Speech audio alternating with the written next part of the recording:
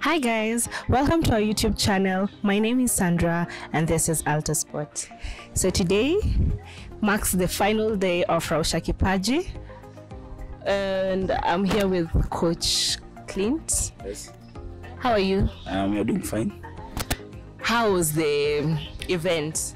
Everything from start to finish. Okay, well, see, I can say it's a, it has been a long journey. Where we started it on Thursday, today is on Sunday. So the boys have really had fun. We have really we had fun. We have competed. We have a, a, a roller coaster of emotions. We have been sad. We have been happy. What I can say, it has been a successful tournament for us.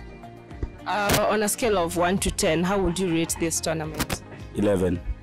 Give it 11. It has been a good tournament for the boys, and particularly when you see under 11 and uh, under 13. Under 13 being their first time in this tournament, they have really performed well. Uh, we went off yesterday through penalties in uh, the round of 16, so I can say it has been. That's why I'm saying 11 out of 10. Yeah. And uh, do you feel like the boys' uh, confidence, the boys' energy and mental state are well, given that uh, we are anticipating to go to Mombasa to for for such a tour- tournament? Uh, what I can say is that uh, this, this tournament last year we used, we used it as a stepping stone for most of our boys. So I, I also hope this this year it is going to be a, a little bit more different because most of the boys scored. Most of them it was their first game for us. So I think maybe we'll see from May we'll see how this tournament reacts with our players.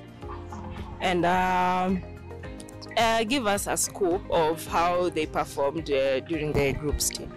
Okay, now uh, I'll start with under 11. So we are in a pool. We are in pool A, where we were five teams, I think, uh, five teams. So we finished number three with six points.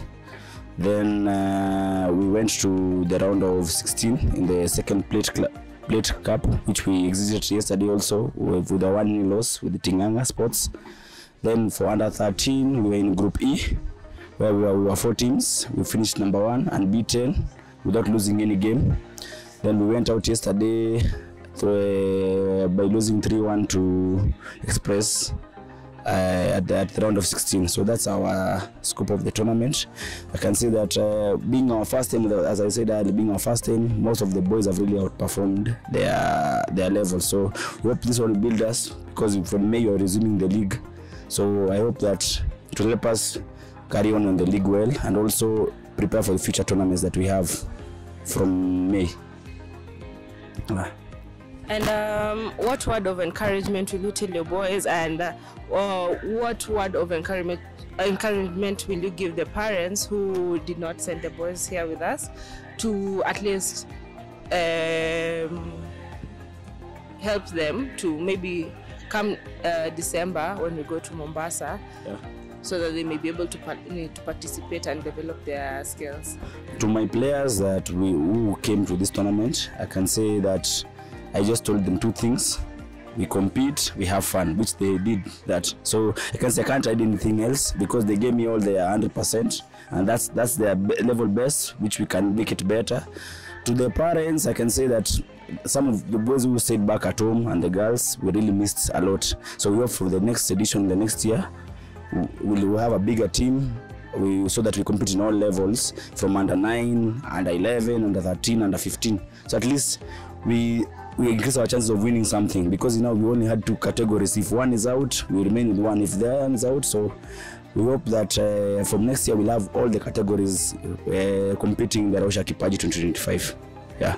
So that's what I can say. So I, I tell them that uh, this this tournaments uh, develop the boys in terms of mentally, physically, also socially, because we know we stay together for the four days that we have been here. They've been with their teammates for the last four days. So which most of them have really bonded. They have also competed. Some of them have cried. Some of them have had fun. Some of them have scored. So it's, it has been a roller coaster of events that we have had, which brings uh, which helps them to adapt to situations that they are going to encounter in life. So to parents, I will tell them that uh, the next uh, edition we hope to have a bigger number than what we had this time because we only carry 30 players, so we hope to have even 60 for the next edition. So that's what I can say. Thank you, coach. Karibu.